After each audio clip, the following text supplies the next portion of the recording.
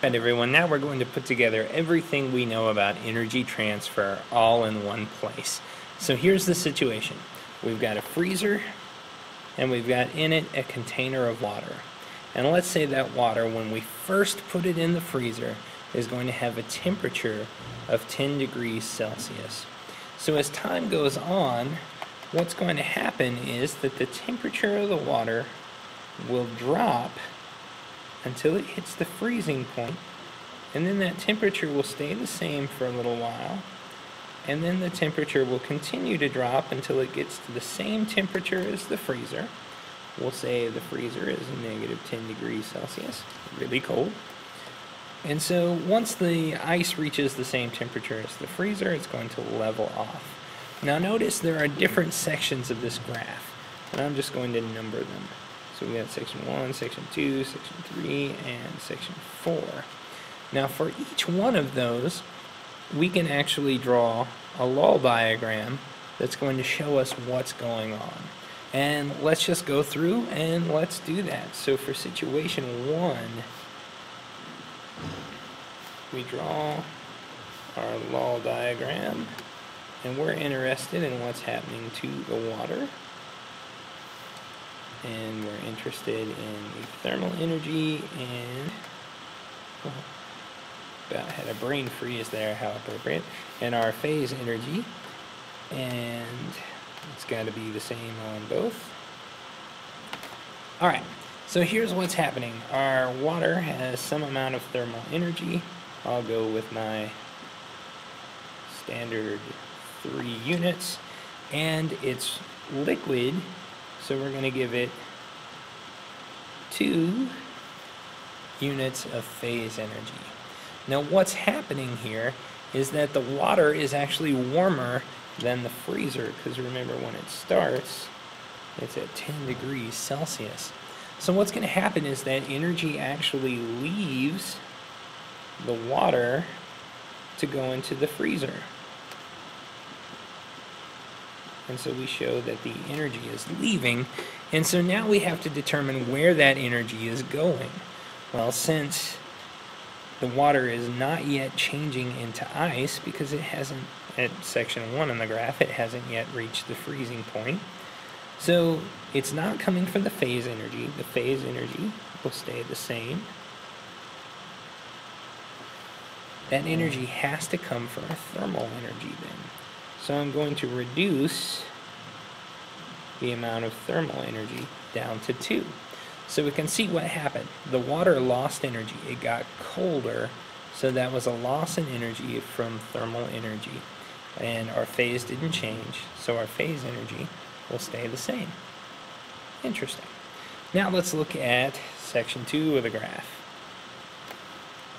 And again, I make my LOL chart. And we're still interested in the same energies. Notice that this is good practice for making lots and lots of these LOL charts uh, to get very good at them. We're still interested in the water. Now notice this. At section 2, it comes right at the end of section 1. So we know how the water is starting out. It's going to start out just like we left it at the end of section 1. So it has two units of thermal energy and it's a liquid. So we'll give it two units of phase energy as well. Now, it's still not as cold, even though the water's down to zero degrees now, the freezer is still colder. So we're still going to lose energy on this. And that energy is still going to the freezer. Just like that. But now, notice if we look at our graph, the temperature at section 2 is not changing, which means the amount of thermal energy is not changing. So from this, since we've lost energy, and we know it didn't come from the thermal energy, the only place it can come from is the phase energy. So now our phase energy has been reduced from two blocks to one block, which shows that the water actually froze. because it changed phase. It went from a liquid to a solid. So we know that in part two of our graph, our water actually froze. So now let's look at part three. And again, it's a LOL chart. Faster by now. But and we have water. And just before, uh, the situation we're left with is that at the end of 2. So we've got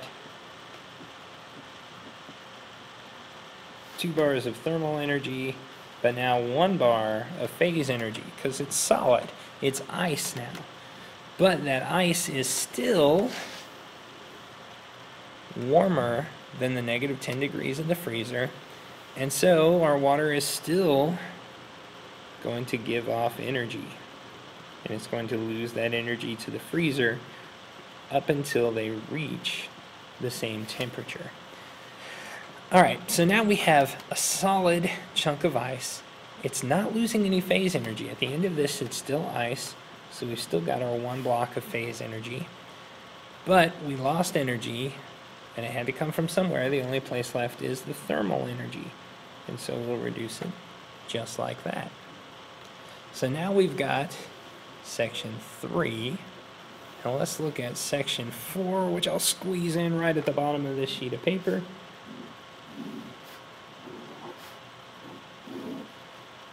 Again, our thermal energy, our phase energy for both.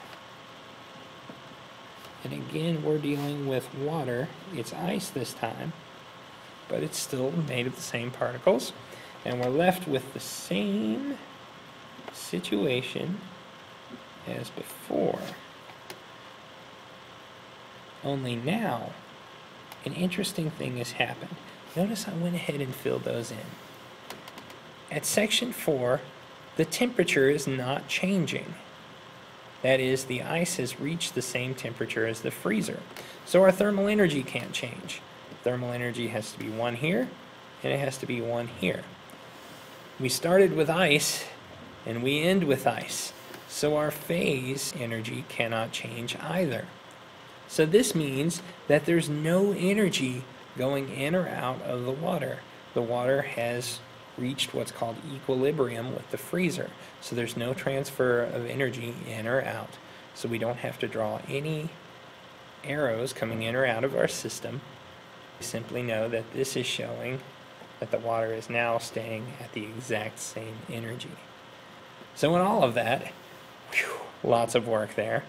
We've seen that for this situation, water in the freezer, each part of this graph, each distinct region, can get its own LOL chart and we can see what's going on using those as far as the energy is concerned for each one of those regions. Um, so anytime you do these LOL graphs, make sure you are doing them just like I showed you here. Include all the details.